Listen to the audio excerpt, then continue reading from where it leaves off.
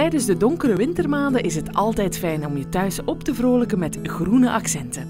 Een leuk doe-het-zelf project waarin je plantjes kan mixen en matchen naar eigen smaak is een plantenterrarium. Dat is vrij eenvoudig een plantenterrarium maken. Het gemakkelijkste is een vaas met een ruime opening bovenaan, zodoende dat je gemakkelijk de plantjes kan plaatsen in de vaas.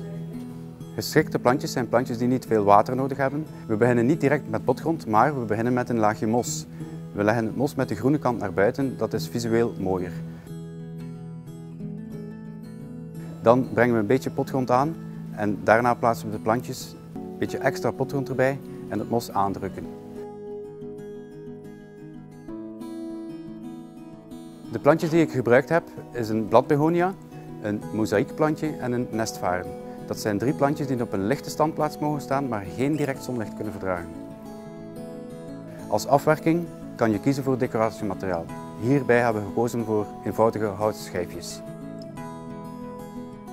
Het plantenterrarium dat we hier samengesteld hebben vraagt weinig onderhoud. Om de 7 à 10 dagen een klein beetje water geven en eenmaal per maand met meststof. Zo'n plantenterrarium is eigenlijk een klein mini-tuintje dat je creëert in je eigen huis.